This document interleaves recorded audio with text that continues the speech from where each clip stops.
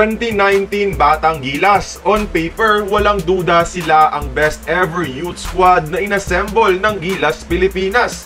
If not for AJ Edo's injury, malayo sana ang narating nila sa Under-19 World Cup sa Greece.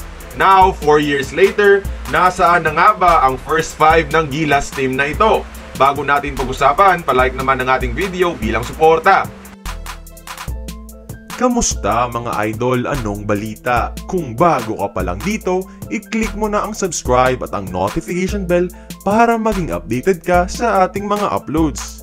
At point guard si Jerry Abadiano. Bilang primary point guard, nag-average noon si Abadiano sa Under-19 World Cup ng 8.4 points and 2.7 assists bawat laro naging winner of a high school player sa UAAP at dinala niya ito sa UP Fighting Maroons kung saan expected na siya this coming season na mag-take over ng floor general duties. At shooting guard Cyrus Torres, kilala bilang isa sa mga best high school snipers sa Pinas noon, ang inclusion niya sa first five actually complements the composition of the Batanggila starters during that time. Kaso di lang naging maganda ang naging stint niya. After the World Cup, nag-UAAP na to sa FEU at mas in-establish pa ang pangalan bilang isa sa mga deadliest marksmen sa college ngayon. At small forward si Dave Ildefonso. Siya ang leading scorer and arguably the best player na rin ng World Cup squad noon with 16.6 points, 5.4 rebounds, 3.7 assists per game. Ang misconception pa nga sa kanya noon ay bakaw. Pero he actually led the Gila squad in assist.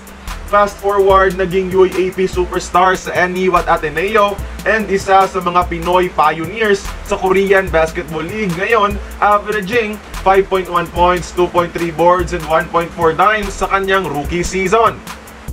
At power forward si Ariel John Edu or AJ Edu. Nahinto ang stint nito after his first game injury kontra Greece. And years later, sinundan na siya ng mga injuries hanggang sa US NCAA Division 1 sa Toledo Rockets. Ngayon, may kontrata na siya sa Toyama sa Japan B-League at on pace maging bahagi ng World Cup lineup ng Gilas men's team with his strong performances sa mga tune-up games.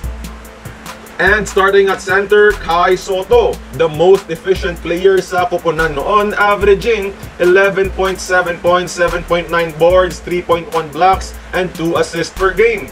Alam nyo naman kung ano nangyari sa career ni Kai Soto sa mga sumunod pang taon, kaya di ko na i-discuss pa. Basta, palapit ng palapit na siya sa kanyang NBA dream.